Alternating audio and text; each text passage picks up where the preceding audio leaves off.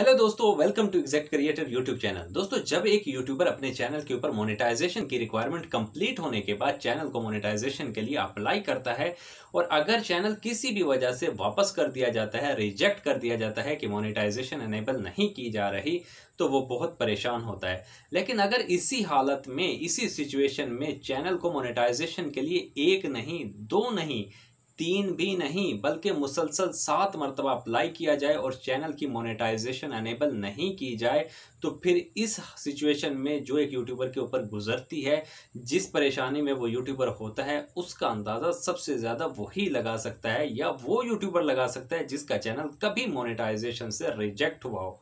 लेकिन आज की इस वीडियो में आपको एक ऐसे ही यूट्यूबर के बारे में बताऊँगा, जिन्होंने मुझसे कांटेक्ट किया कि उन्होंने सात मरतबा पिछले सात महीनों से यानी अपने चैनल को मोनेटाइजेशन के लिए अप्लाई कर रहे हैं और यूट्यूब चैनल को रिजेक्ट कर रहा है। दोस्तों, आज की इस वीडियो में आपके साथ वो मिस्टेक वो प्रॉब्लम वो रीज़न शेयर करूँगा जिसकी वजह से चैनल उनका मोनेटाइज नहीं हो पा रहा और फिर बताऊँगा कि वो उसका सोल्यूशन क्या देता है। यूट्यूब के प्लेटफॉर्म पर अगर ये मिस्टेक हो जाए तो फिर इसका सोल्यूशन क्या दोस्तों, वीडियो में आगे आगे बढ़ने से पहले यहाँ पर आपको उस भाई का क्लिप दिखाता हूँ कि जो उन्होंने मेरे लिए भेजा है।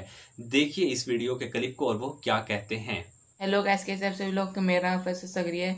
तो मैंने, मेरा चैनल सगरी रिएक्शन है। वो रिएक्शन सगरी रिएक्शन चैनल मेरा अभी तक मोनिटाइज नहीं हुआ।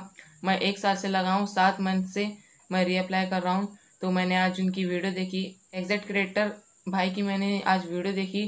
तो मैंने डिस्क्रिप्शन से उनके इंस्टाग्राम लिंक में गया। जाने के बाद मैं वो लिंक से मैंने उनके साथ इंस्टाग्राम पे बात की तो उन्होंने कहा, मेरा चैनल वो मोटास का सॉल्व कर देंगे। तो गैस मैं इंडिया से हूँ इंडिया से बोल रहा हूँ। दोस्तों, यहाँ पर एक बात याद रखिएगा कि आप लोगों में से किसी के भी चैनल के ऊपर अगर किसी तरह का कोई प्रॉब्लम आती है कि कोई बात समझ नहीं आ रही या एडसन्स में कोई इशू आ जाता है तो फिर आप मुझे इंस्टाग्राम पर भी फॉलो करके वहाँ से डीएम करके पूछ सकते हैं, अपने प्रॉब्लम को शेयर कर सकते हैं और मैंने व्हाट्सअप का नंबर भी अपने वीडियोज़ के डिस्क्रिप्शन में प्रोवाइड किया है। यहाँ से भी आप मुझसे कंटेक्ट कर सकते हैं। अब इन भाई के चैनल्स के ऊपर प्रॉब्लम क्या आई है, वो ये है कि यूट्यूब ने इनके चैनल को रिपीटेटिव कंटेंट करके चैनल को मोनिटाइज नहीं किया। दोस्तों, याद रखिएगा कि रीयूज कंटेंट एक अलग चीज़ है और रिपीटेटिव कंटेंट एक अलग चीज़ है, जिसे रिपीटेशियस कंटेंट भी कहा जाता है। इसकी मुख्तलिफ़ कंडीशंस हैं जिसकी वजह से चैनल को मोनेटाइज नहीं करता यूट्यूब जिस भाई के, जिस यूट्यूबर के भी चैनल के ऊपर रिपीटेटिव कंटेंट या इस तरह के किसी भी प्रॉब्लम का कोई नोटिफिकेशन आ जाता है मोनेटाइजेशन पे तो उसने उसके ऊपर क्लिक करना है और नीचे जहाँ पर सी डिटेल्स या लर्न मोर के ऊपर लिखा होगा, उसके ऊपर क्लिक करेंगे तो वहाँ पर यूट्यूब बताता है कि कौन सी चैनल के ऊपर आप कौन सा काम कर सकते हैं और कौन सा काम नहीं कर सकते। जहाँ पर डिसअलाउ का बटन बना होता है, उसका मतलब है कि ये काम आप नहीं कर सकते। और अगर आप रिपीटेटिव कंटेंट के डिसअलाउ वाले बटन को देखेंगे तो यहाँ पर एक जगह पर लिखा हुआ है कंडीशंस बहुत ज़्यादा हैं, जो मिस्टेक उन्होंने अपने चैनल के ऊपर की है, जिसकी वजह से ये रिपीटेटिव कंटेंट का इशू आया है, वो आपको बताता हूँ। यूट्यूब इस कंडीशन में, इस इशू में कहता है कि अगर आप अपने चैनल के ऊपर कोई वर्डिंग्स के लफ्ज़ चल रहे हैं, कोई इबारत चल रही है, या कोई पिक्चर्स कोई स्लाइड शो चल रहा है इमेजेस का, और उसके ऊपर अगर आपकी वॉइस ओवर नहीं है, आपकी कमेंट्री ऐड नहीं है तो फिर हम इस चैनल को मोनेटाइज नहीं करेंगे। और अगर आप इन्हीं भाई के सगरी करे रिएक्शन जो चैनल है इन भाई का, इसको जाकर देखेंगे, मैं इस वीडियो के डिस्क्रिप्शन में उनका लिंक प्रोवाइड करूँगा तो आप देखेंगे जो उनकी हाईएस्ट रैंक्ड वीडियोज़ हैं, जिन पर बहुत ज़्यादा व्यूज़ हैं और वॉच टाइम जिनसे ज़्यादा कंप्लीट हुआ है, उनके ऊपर इनकी कमेंट्री नहीं है। सिर्फ़ पिक्चर्स चल रही हैं, जो वो किसी भी सेलिब्रिटीज़ की लाइफस्टाइल के बारे में अक्सर वीडियोस बनाते हैं। उनके ऊपर क्या है कि उनकी कमेंट्री ऐड नहीं है।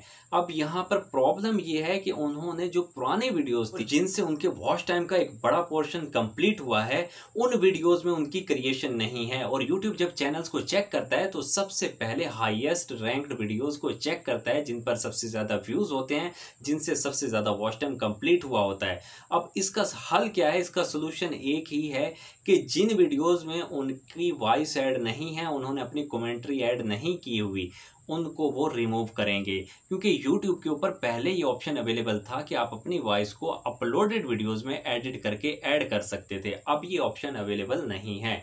उन्होंने क्या किया है कि जो न्यू वीडियोस हैं, उनमें वो अपनी कमेंट्री ऐड कर रहे हैं और अगर वो चैनल को मोनेटाइज करना चाहते हैं तो फिर इसका सोल्यूशन ये है कि जिन वीडियोज़ में उनकी कॉमेंट्री नहीं है मतलब उनका वॉइस ओवर नहीं है, उनको वो रिमूव करेंगे और अपना कंटेंट न्यू कंटेंट अपलोड करेंगे अपनी वॉइस के साथ। तब जाकर अगर चैनल को मोनेटाइजेशन के लिए अप्लाई करेंगे तो चैनल मोनेटाइज हो जाएगा।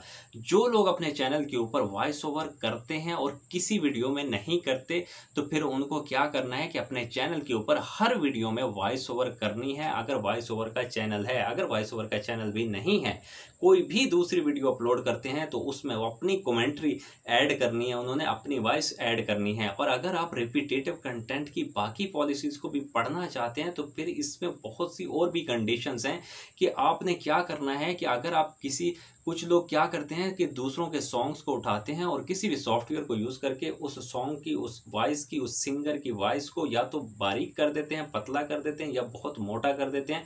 मतलब ओरिजिनल वॉइस को चेंज करने की कोशिश करते हैं तो यहाँ पर भी रिपीटेटिव कंटेंट आ जाता है। ये यूट्यूब ने अपनी पॉलिसी में लिखा हुआ है। एक और बात यहाँ पर यूट्यूब कहता है कि जो लोग किसी व स्पीच मतलब जो कंप्यूटर या लैंग्वेज होती है, वहाँ पर जाकर टेक्स्ट लिखते हैं और वो वॉइस प्रोवाइड करता है इंग्लिश में या किसी भी लैंग्वेज में, इस तरह के कंटेंट को भी, रोबोटिक वॉइस को भी यूट्यूब मोनेटाइज नहीं करता। रिपीटिशियस रिपीटेटिव कंटेंट की प्रॉब्लम आ जाए तो आई होप कि ये वीडियो आपको ज़रूर पसंद आई होगी। वीडियो को लाइक करके शेयर ज़रूर कीजिएगा। आज के लिए इतना ही। मिलते हैं अगली वीडियो में। तब तक के लिए अल्लाह हाफिज।